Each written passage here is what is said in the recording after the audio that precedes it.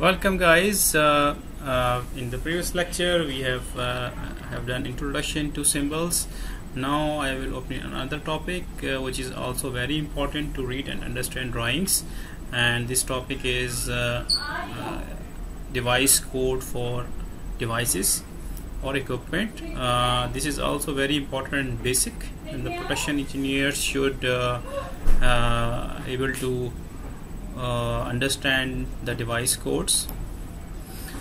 Okay uh, in drawing different components equipments are shown with numeric numbers that is called codes. All the engineer must be familiar with the device code to read the drawings. For example uh, here I can see say here that uh, circuit breaker is shown with the device code 52 and isolator is shown device code 89 each and every device has its own codes. Okay now uh, I will show you one table. Uh, you can also download this table later on for uh, production devices used. So you try to just get familiarized with this one. Uh, whenever if in some drawings only codes are mentioned instead of mentioning complete device name.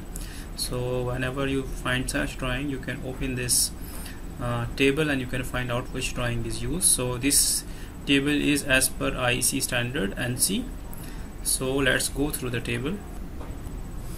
Okay here you can see the function code and the description. Uh, for example 7 code is sudden change in phase or residual current protection 21 this is mostly used in control and protection drawing of substations. This is line distance relay.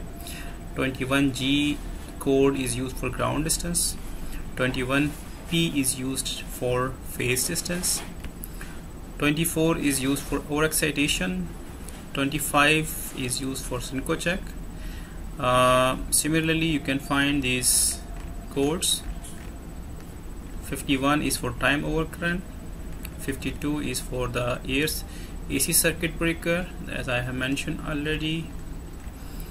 Uh, then we have uh, 87 is very famous again. This is differential protection. 87 is for different type of bus bar protection. So these codes you can download and you can study. This will be really useful for the uh, preparation of exam